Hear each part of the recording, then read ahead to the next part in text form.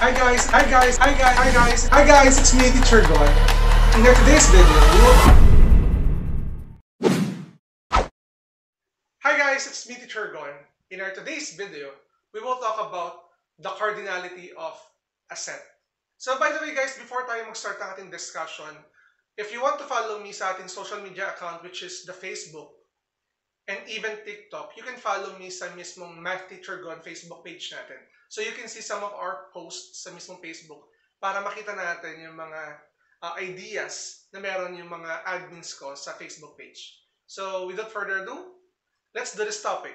So basically guys, uh, cardinality of a set is an essential again, essential topic sa mismong discussion nyo or lesson nyo about sets. So let's define what is cardinality. The cardinality of a set is the number of elements in a set. Again, Cardinality is the number of elements within a set. So dito, I have here five examples for us to do. Find the cardinality of each set below, in which dalawa yung klase ng sets na may, may, may encounter nyo dito. One is finite set, and the other is infinite set. So let's try having number one. We have set M, again set M, in which the elements of set M are a, B, C, D, and E. And we're asked to find the cardinality of this top, of this given set. So, paano ba yung symbol ng cardinality? For the symbol of cardinality, this is the symbol for cardinality. So, pwede nyo basahin ito bilang the cardinality of M is equal to 5. Sir, why is that the cardinality of M is 5? Simply because we have 1, 2, 3, 4, 5 elements for set M. That's basic, guys. Next, let's have number 2. For number 2, we have set K, in which, as you can see, this is the only element of set K. So we can say that the cardinality of set K is equal to 1. Okay, guys? The cardinality is equal to 1. Let's move on with item number 3. This one is an empty set. Again, for those of you who doesn't know the meaning of this symbol, this is an empty, empty set or null set. So, we have the word empty, meaning wala siyang elements. So, simply, for this, the cardinality of empty set is equal to 0. Again, the cardinality of empty set is equal to 0.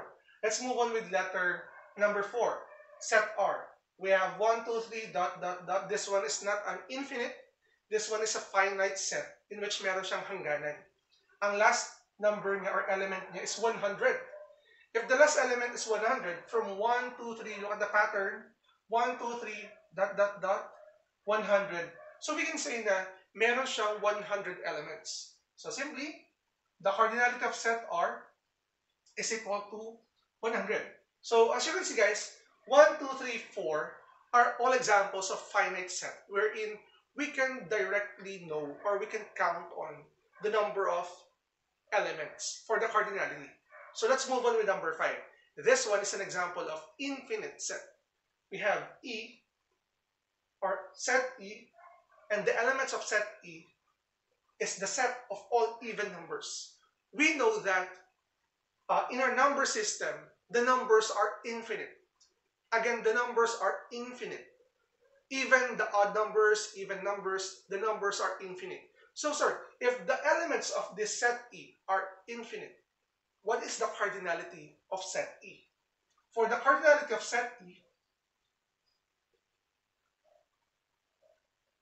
the cardinality of this is simply infinity. So, this is the infinity symbol. Pwede natin sabihin infinite. That is the cardinality. So, I hope guys na you learned something from this video on how to find the cardinality of a given set. So, if you're new to my channel, don't forget to like and subscribe at i-hit mo na rin yung bell button for you to be updated sa ating latest uploads. Again, it's me, Teacher Gon. Maraming maraming salamat. Bye!